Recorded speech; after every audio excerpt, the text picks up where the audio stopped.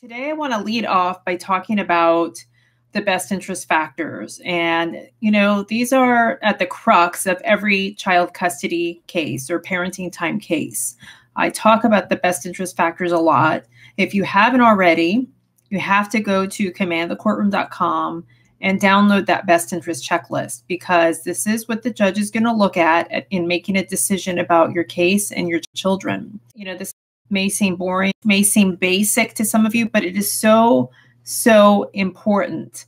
So I got an email this week and it really touched my heart, you guys. Um, and that's kind of why I was inspired to talk about the best interest factors. And I'm changing some details about this email because I want to keep it confidential. So this is what it says. Thank you for this checklist. I lost custody of my son when he was seven. He is now 45 years old.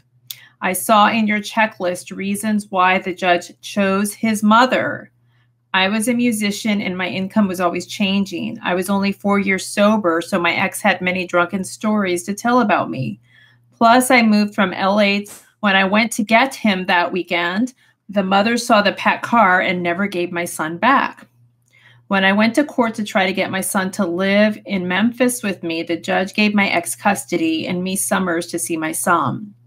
I am now 66 years old, and looking back, I think it was the best for my son, but nothing hurt so bad ever. I applaud your work and the way you stress the point to do what is best for the child. Your checklist helped me accept the judge's past decision. My son and I are very good friends. We say I love you whenever we talk or text. That's what matters to me.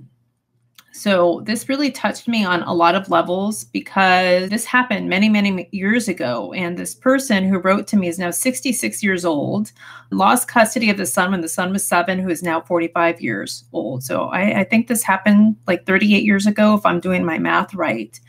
And it sounds like whoever this person was, uh, you know, has been struggling for decades with the judge's decision.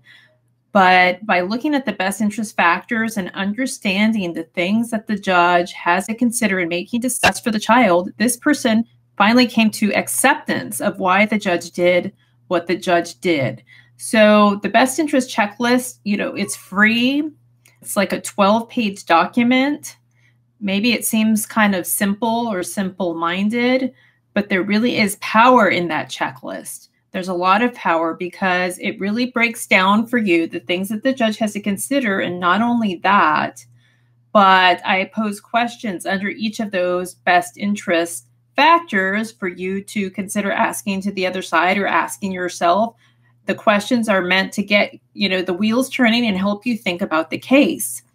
In preparing your case, what I really recommend though is you kind of step back like this person was able to do they stepped back and you know they were able to look at the best interest checklist and objectively evaluate the factors and say hmm well this factor you know was not so good for me or maybe this factor was okay for me and this factor wasn't so good and that's okay if not every factor is in your favor because usually it's not for most people most people aren't perfect. Most people haven't always behaved perfectly. So there are probably going to be some best interest factors that don't go in your favor. That is okay.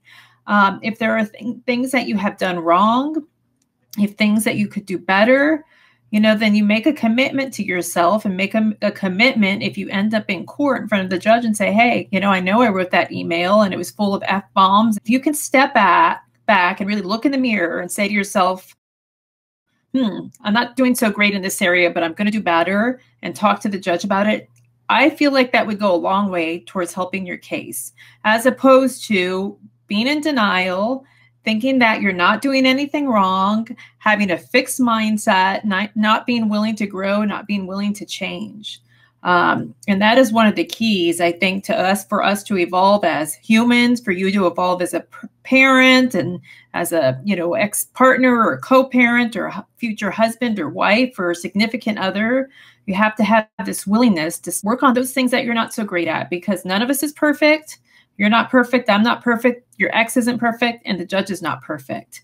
But if you're willing to work at it and look objectively at your situation, I think you're steps ahead of where a lot of people might otherwise be. So please, if you haven't looked at the best interest checklist in a while, download it again. print it out again and look at it. Let it guide you in preparing your case. That's at the center of your child custody case. What is in the best interest of your child? You have to know those factors like the back of your hand.